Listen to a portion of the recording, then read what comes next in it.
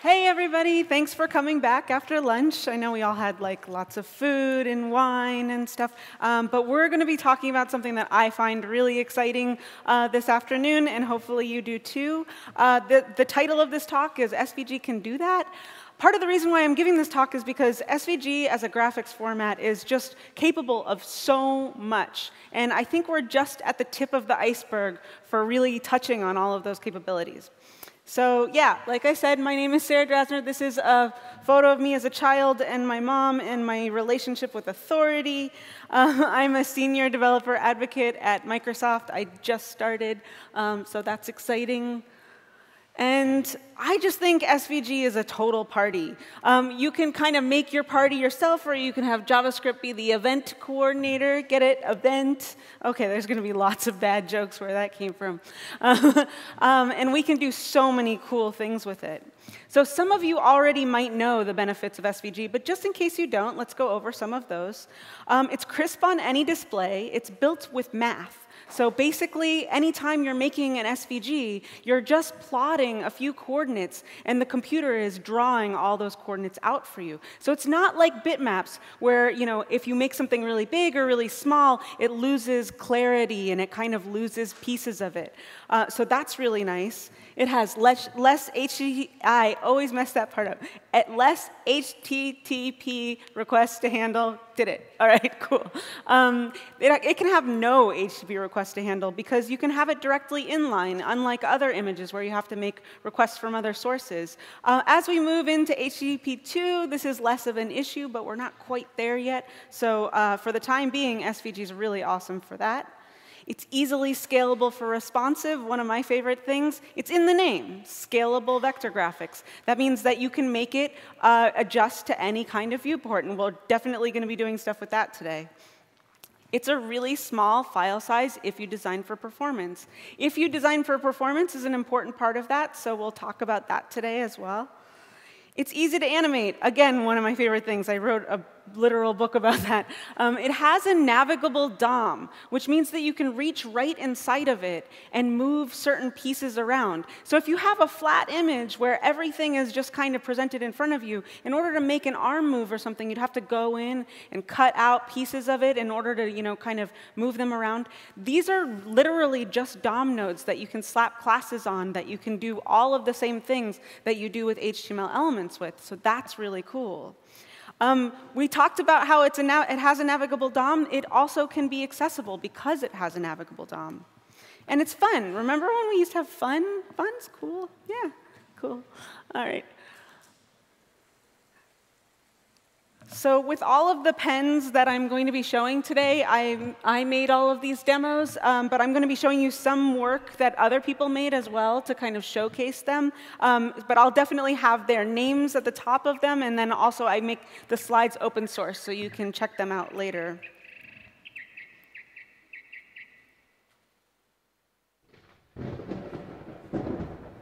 SVG is such a flexible medium. We can do so much with it. We can manage state even with, within it and do all sorts of beautiful effects. So I actually hope that this is the last year I have to show this slide. Um, people think that SVG is really not well supported because years past it wasn't, but look at all that green. We got Opera Mini. We never get Opera Mini. That's just amazing. and you know, it says IE 11 there, but it actually goes back to IE 9 with partial support on IE 8. I don't know why Can I Use doesn't show you all of that information. But if you're not using SVG because you think it's poorly supported, uh, you can update that information in your mind as well.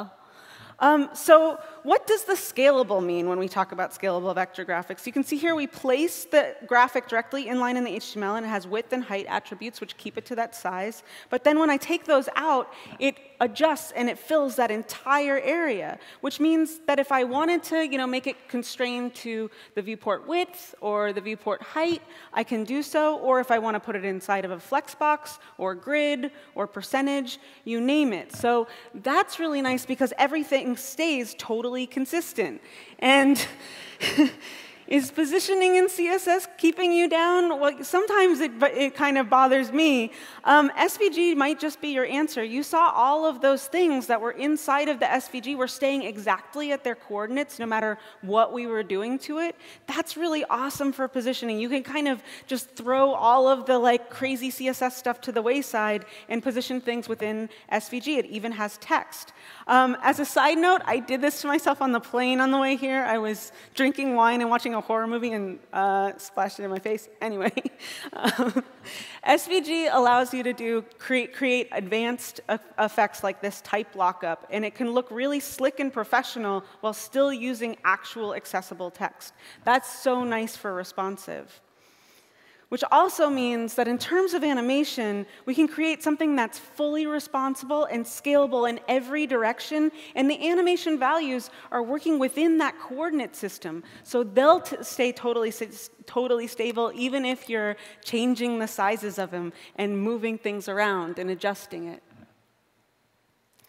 These type of positioning refinements are really, really wonderful if you have a ton of information on smaller screens like mobile and you don't want to show all of the information at once. If you have tons of icons and you need to kind of collapse that view, you can do really advanced layout effects where you're showing and hiding that information with only a small amount of kilobytes. So it doesn't necessarily have to be, you know, squishy either. We don't just squish things back and forth when we make responsive design. Let's do some real de responsive design.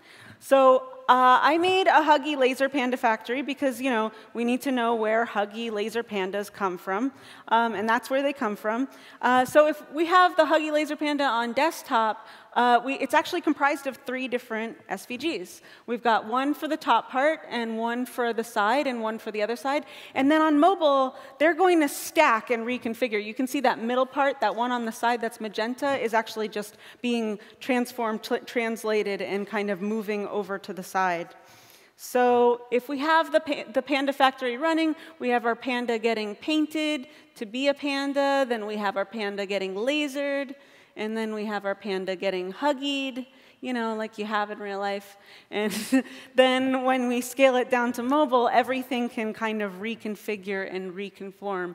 And all of this works on old Andro Android devices, old Windows phones, uh, and it's only 13 kilobytes.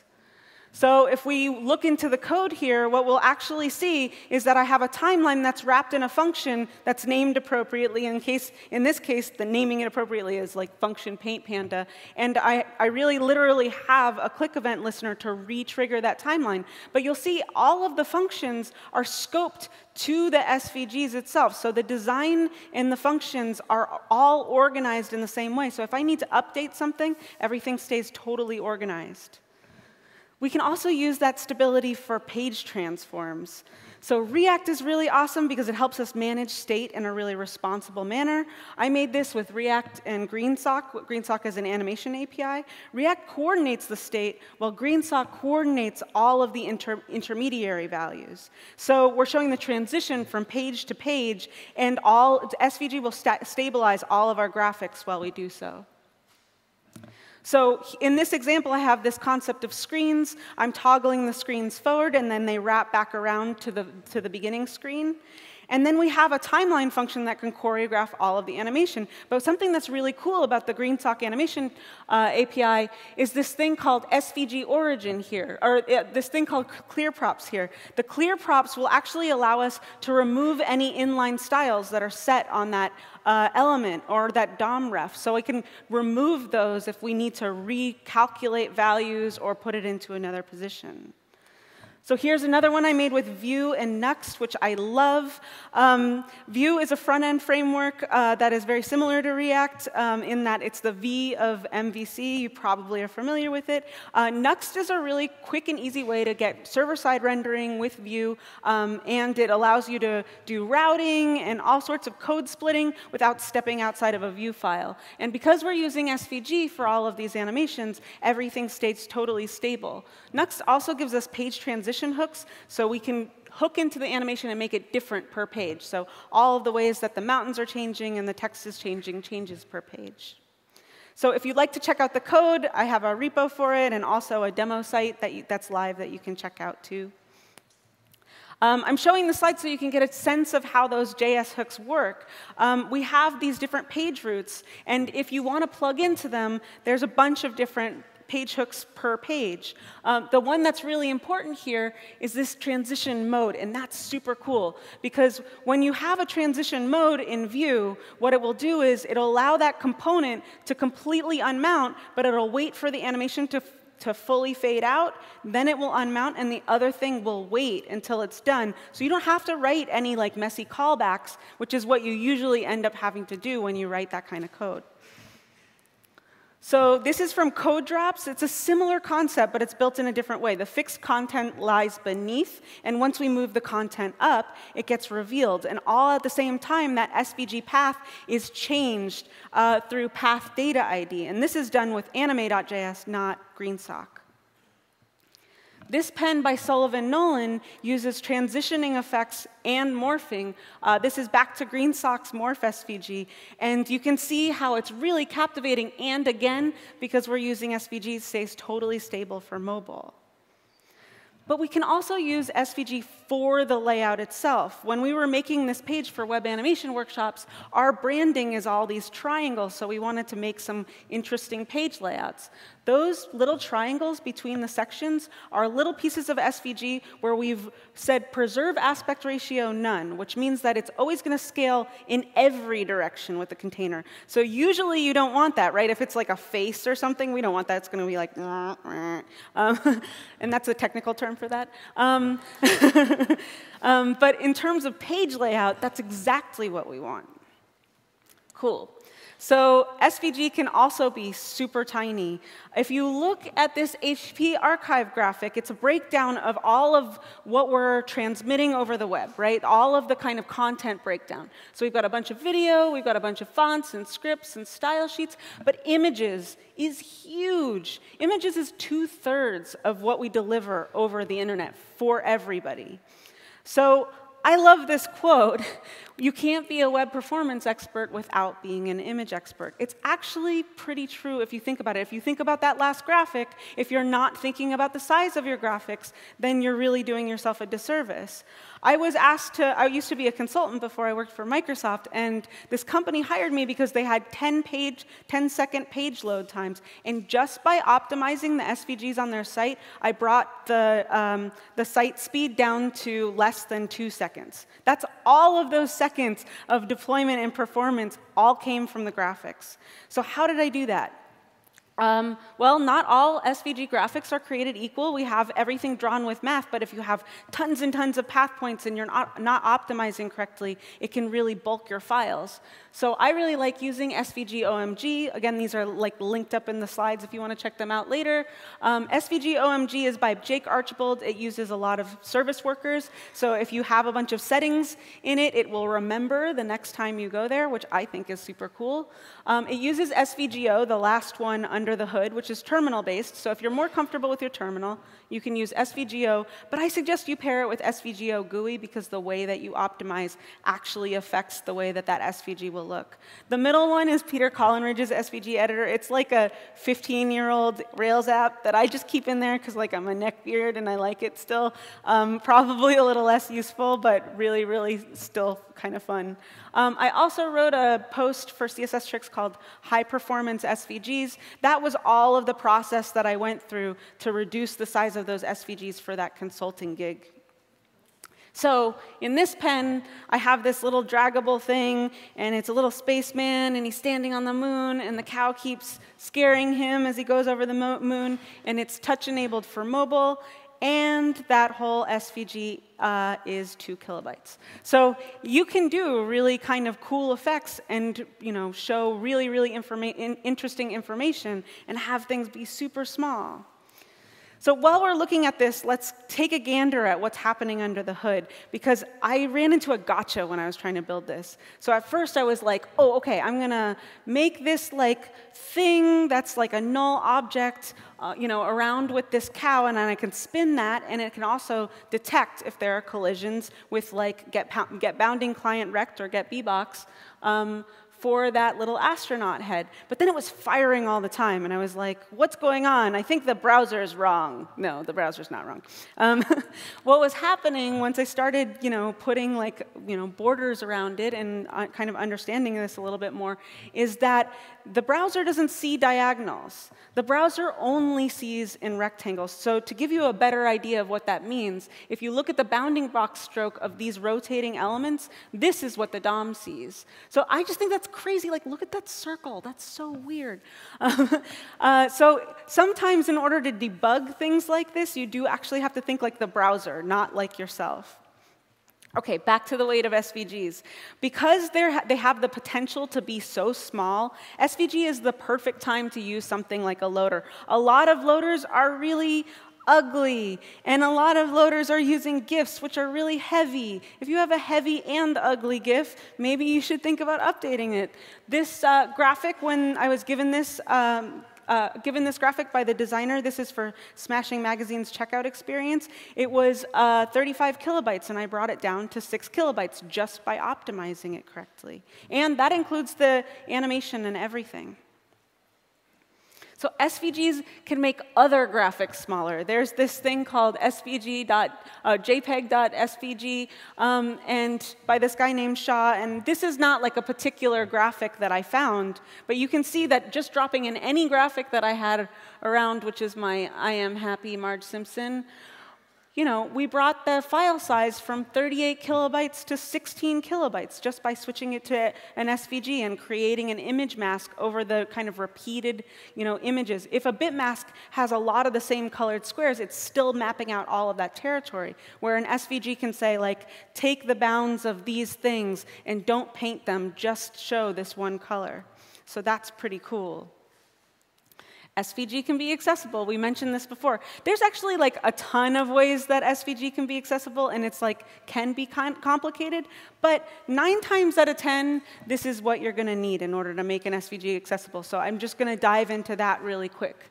Um, so we write aria labeled by and then a title, and that title, it has to be the first thing that follows that SVG tag. That title also has to have a unique ID on it, otherwise it won't be picked up by JAWS and NVDA devices. Just writing title is not enough. Uh, we also have role of presentation on the SVG itself. What that'll do, even for your icons, you should be doing this. It'll allow it to screen readers to know that it's an image and not announce everything inside. If you wanted to announce things inside, you'd move that to role group. So uh, that's some of the ways that you can make it responsive. I also like writing lang, you know, whatever language it is, so that you know if somebody's using an, a screen reader in another language, the computer does the hard work for them. That's pretty cool. Um, so there's a res resource with support charts. There's also this article by Heather uh, that she wrote for CSS Tricks. She spent like every weekend going to the library, checking every different device, this whole big labor of love for the community. So definitely check out that article. She did a great job with it. SVG can be styled like text. This is kind of like not too fancy, but something that a lot of people kind of come to me and ask me about, so let's cover it real quick. Um, someone on Twitter asked me about this. They made an SVG sprite sheet, and it, they're not styling it along with the text. They wanted everything, you know, if they changed that line of text, uh, for it to pick that up. So really, uh, so this is the, the question code. I left it exactly how it was. And the secret trick here that you may or may not know about is that you change the fill to current color, camel cased, and that will just make it reflect whatever it is. So right now, I just have that line with a class that says color red on it, and it's picking up that color. So if you are using SVG icons for your site, that's a really quick way to not have a headache whenever you're working with it. SVG can bounce. Uh, we can make a ball bounce with SVG really easily without any animation libraries using request animation frame. Uh, if we have this bounce, ball bouncing, we can use a little physics to kind of drum up the bounce of the ball, and we can make the radius bigger, and we can do all of that midstream. So I'm using Vue again here, and there's some info that I'm not share, uh, showing here, but here's the gist of it. We've got data, we've got the total like height of everything, uh, we've got the radius, we're incrementing things based off of a click event, and then we're, we have gravity that increases the vertical speed, horizontal speed increments from the horizontal position. All of these things I learned from like just pulling things out of physics books. So you don't have to invent all of this stuff from scratch. You can steal ideas that have been around for a really long time. This pen by Tiffany Rayside is one of my favorite animations of all time. She's not using any library or anything at all. She's spinning up pieces of the SVG, applying physics and even these like crazy bounces to, to it all. So she manipulates the SVG path values when it hits the wall. She's just kind of a master. So if you don't already follow her on Twitter or CodePen, you should definitely go do that. SVG can snap, in order to create some, you know, really, really beautiful effects, we're going to use some ES6 template, uh, template literals, which you're probably all familiar with, but just in case you aren't, I'm just going to say something about them really quickly. Uh, previously, we had string concatenation, and all of that printed out to this, which was really hard to read, and it was kind of ugly, and it was kind of error-prone because it was hard to read. And now we have awesome template literals that when you put things in backticks, uh, we can just manipulate strings really, really readily. And what does that have to do with SVG? Well, SVG, all of those paths inside an SVG are really just um, a bunch of strings of commands, and they have these curve values. And all of the letters mean a certain thing and draw certain kind of curves and create certain kind of paths. So I really like this uh, kind of path explorer tool. If you're not familiar with um, the way that SVG works, you can go and play with this. I also wrote about it in uh, my book if you want to, you know, something that's a little bit more traditional. Um, and if we know enough about how those curves are made, updating them is very simple with something like template literals. When we're building out these paths, we start with a move to, and then we can create those curves um, by using things like C and Q. So we give it a handle, and then we give it another point, and the computer draws a curve for us. How cool is that? You can like plot three points and the computer draws a curve. I just think that's great. Um, so that's really neat. And then we can plot the points. We have a bunch of different coordinate values that we're updating. And it's so flexible. We can make effects like this.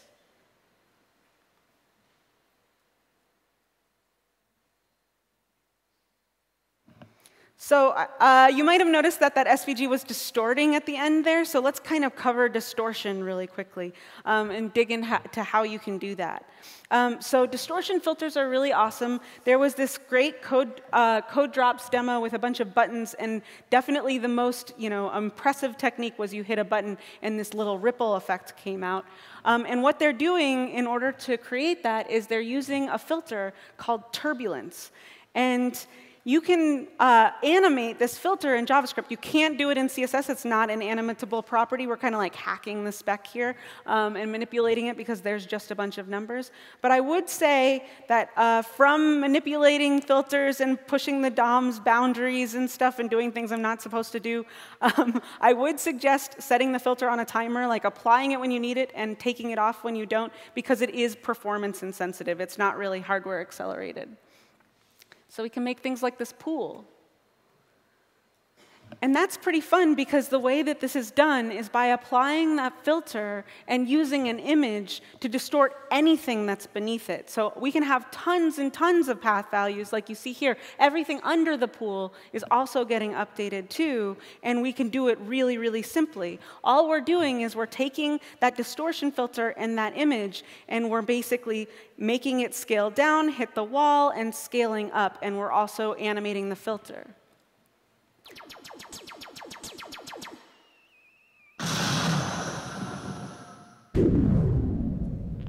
So we can do like really, really crazy effects. And when I made this pen, I wasn't really thinking about like the political climate. So it's, it's, kind of, um, it's kind of a weird one to show. Um, but we can, by animating filters, we can also make things like a realistic candle that's drawn with math. That's really, really fun. Um, in order to make this, I have a few different uh, pieces that I just kind of traced off of a candle photo. So I just made this in uh, Illustrator and then made a gradient that's attached to it. And then I, they're not actually blue, but I have a bunch of different path values that I'm going to set on a for loop, and I'm going to morph between those path values for each second and plot them along a timeline. But I also am using a filter, and it's this gooey filter that Lucas Bebber uh, created. So he has some prior art here. He, he's actually using this with divs. You can make an SVG filter and apply it to HTML. You don't only have to use SVG, so that's pretty cool. So a lot of people use this kind of gooey effect. It's a blur filter and a contrast filter applied at the same time. So yeah, we can, because you know, that standard deviation of the filter is just using numbers, we can have JavaScript update those numbers. Request animation frame knows how to update numbers, so we can do that. We go through all of the path values, and then we've got a little math.random opacity because nature is just a little unpredictable. And then we can use that effect to create smoke with math. SVG can do on-the-fly logo adjustment. This demo was made by Lea Verou, who, if you don't follow her already, you should probably go do so because she makes all sorts of crazy great things. Um, but basically, you're allowed to update these logos on the fly, which I think is super great. If you have to collaborate with a designer who keeps on not making their mind up, and you're like, they're like, oh, uh, change it out here. Oh no, it, like fat is in, oh no, flat is in. Um, you can kind of make all of these things really, really adjustable so you don't have to keep changing things up. And she made this uh, with a tool called Mavo that she built. Uh, that's basically so that you can drum up sites using HTML and CSS with very little JavaScript, which is not very useful for us, but I'm pretty sure that almost everyone in this audience has a family member that's like, hey, can you make me a website? and if you do, this is a really good thing to show them because they, with just a little bit of training, they can make their own website and you can get on to your real life work. SVG can draw itself too. So let's say we have a shape and that the stroke of that shape is dashed. But we make the dash all the way around that entire shape. It's the length of the entire shape. That offset, the offset between those two dashes is animatable. So we can have an SVG draw all onto the page just using CSS or something. So I made this pen to kind of celebrate New Year's.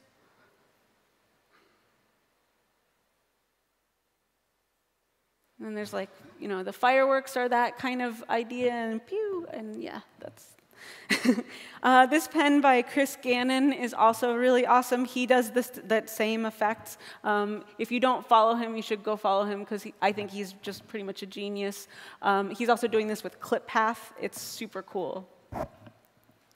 You can also interact with an SVG. Uh, we can manipulate it and interact with it on the fly as well. So if, since it has a navigable, navigable DOM, you can do all sorts of things with it. Um, again, I'm using Vue here to like update the text and make random lines and allow the user to kind of play with the SVG graphic as much as they want to. I can also animate it if I want to um, and have them be in charge of that as well. And I made this demo too long, so we're all going to watch it. um, so it's going to play the animation. But the coolest part of all of this is I'm going to play this animation. It's still a graphic, so I can still download it.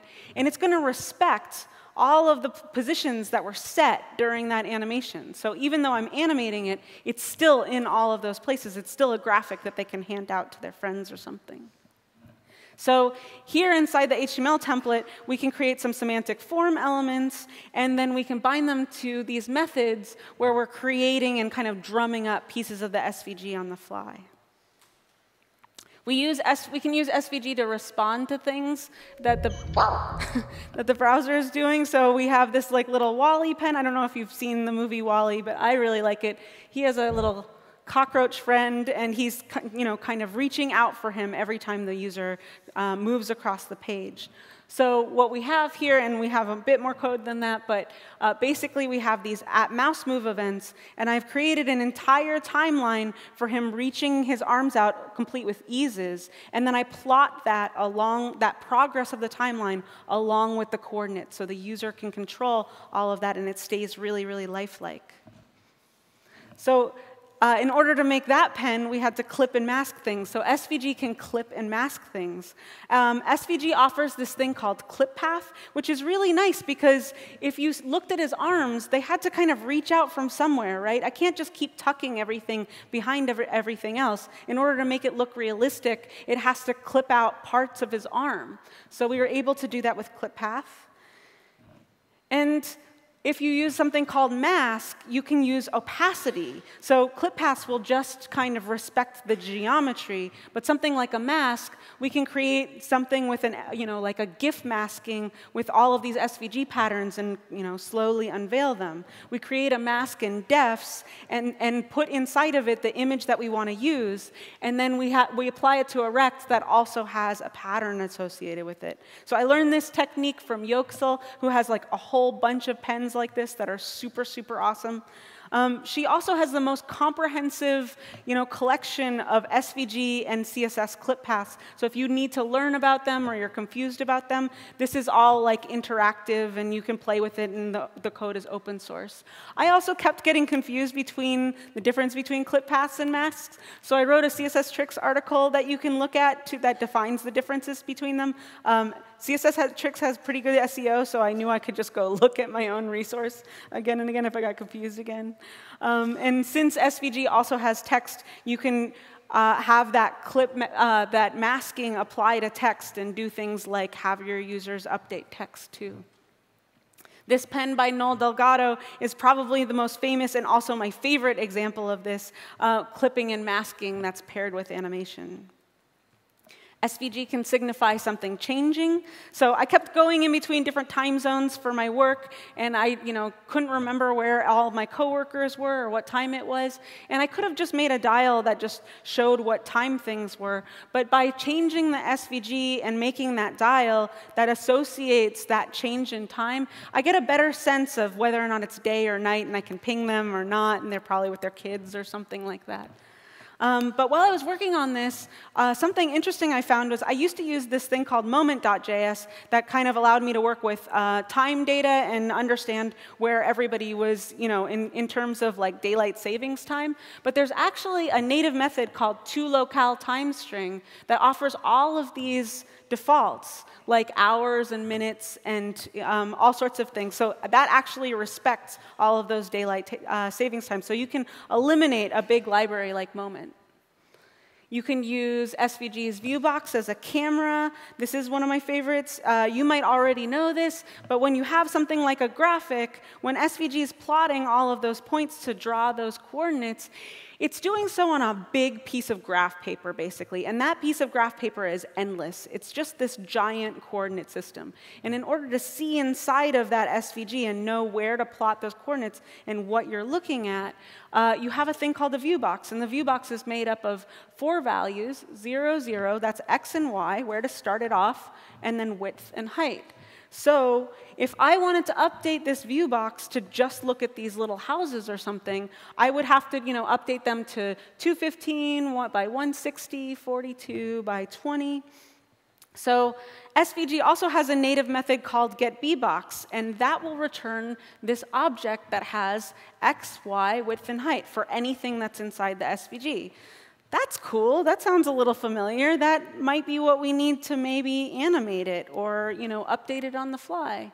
So here I'm just, you know, using that to update the view box, and then if I take that out, it will go right back to where it was. So I'm just setting the attributes based on that. So then we can do something like this data visualization where we're zooming in on a certain country in order to show different pieces of information. And again, because it's SVG, it's all totally scalable for mobile and it's so small because it's just one path that's drawn. We can also make a flow chart. Um, basically, this is just a giant SVG, and we're just like moving things based on the user input, and like then people can pick a certain thing, and then they can go to you know a different kind of output. So we can make you know interactive flow charts. This one is really cool. This is like a game that somebody made, uh, updating the view box where they're like placing little household items and stuff. Um, but we can do better. We can do like a big game. So, uh, so let's make a game, and that will be the last thing we do this afternoon. Um, so if we have a game about a hipster elephant that's going to go get tacos, uh, but his friends keep texting him to change plans, and you're supposed to try to go get the tacos, but avoid the text messages, and like there's margaritas for extra bonus points. Oops. Um, so you can basically move this guy around, and like your heart meter goes up and down. Um, and if you lose the game, you become hangry, and you have to watch a movie you already saw. And if you win the game, you can tweet out your score. It's based on real life events. Um, Um, so how do we use SVG in order to create this? We're using React to manage all the state for that application. If you know how to manage state for an application, you can probably already make a game too. Um, so we're using SVG three ways. We have it directly in line in the HTML for loops. We have background images for things like tacos. We're not really you know, updating the tacos. We're just kind of throwing them across, so they don't have to do anything super special. And we have things that are inline directly in React. So let's look at that last one really quickly. So if we have, this is a slightly older pen, so yes, I know I'm using React.createClass. I wouldn't use that now. I would use class extends. Um, so if we have the initial state of that score that's at 500, and then you know we're setting the game to start because they can play it again. They can you know get to the end and decide to replay. So we're setting the score back to 500 if, if they do so. We don't want them to have too much, um, you know, winning too much or losing too much. And then we have this update score that will either like end the game or win the game if it gets to a certain amount.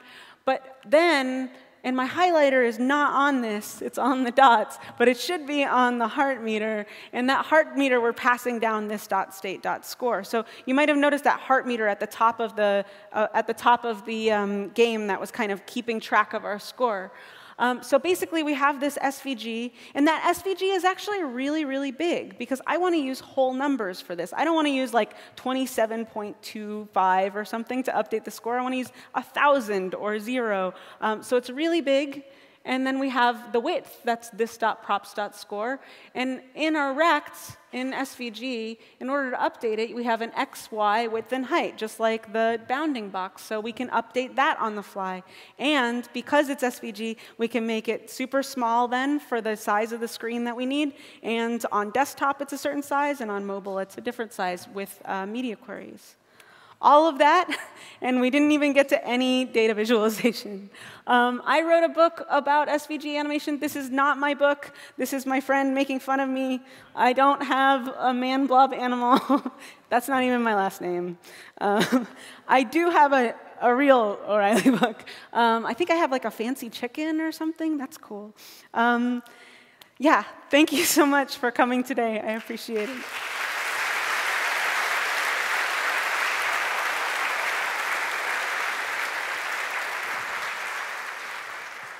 Thank you so much, Sarah. Um, those animations totally blew my mind. And I love how you shouted out so many other creators in your talk.